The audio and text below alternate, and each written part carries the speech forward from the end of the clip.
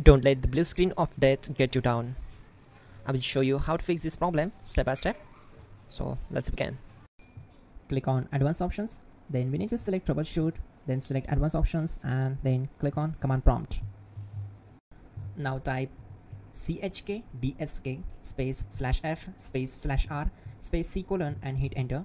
Now we need to wait for some time to complete the process. Type c colon then hit enter. Then type cd space c colon slash and hit enter. Now execute this command. Type cd space windows and simply hit enter. Now type cd space system32 and we need to execute this command. For that simply hit enter. Now type cd space config and simply press enter to execute this command. Now execute this command carefully. Type in md space backup and simply hit enter to execute it. Now execute this command. Type copy space star dot star space backup and simply hit enter.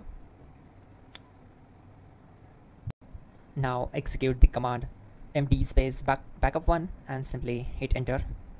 Now type copy space star dot star space backup one and hit enter. Type in cd space regback then simply hit enter. Then type dir and simply hit enter. Now type copy space star dot star space dot dot and hit enter.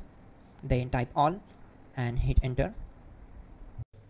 Type in bootrec space slash fixmbr and hit enter to execute the command. Now type in bootrec space slash fixboot and simply hit enter to execute the command.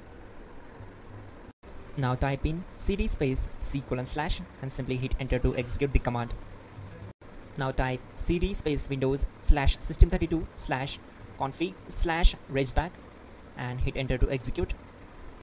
Now type this command bcd edit space slash exports space c colon slash bcd backup then hit enter now execute this command type cd space c colon slash and hit enter now type this md space boot and hit enter.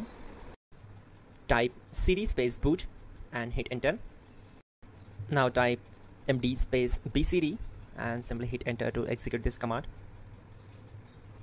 Type cd space c colon slash and hit enter. Now type attrib c colon slash boot slash bcd dash h dash r dash s and hit enter.